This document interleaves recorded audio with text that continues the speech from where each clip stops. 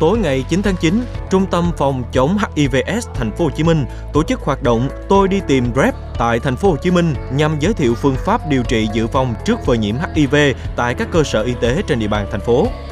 Việt Nam có khoảng 6.500 người bị nhiễm HIV mỗi năm, con số này có xu hướng gia tăng hàng năm.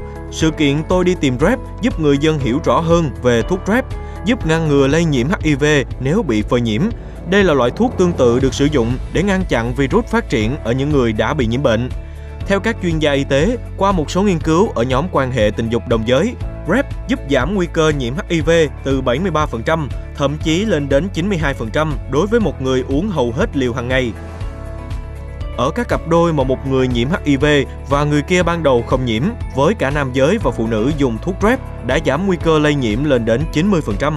Tuy nhiên, việc dùng thuốc PrEP cần có sự tư vấn của bác sĩ và đòi hỏi phải thường xuyên tái khám. Hoạt động này giúp mọi người nâng cao nhận thức trong việc bảo vệ sức khỏe của chính mình và cộng đồng.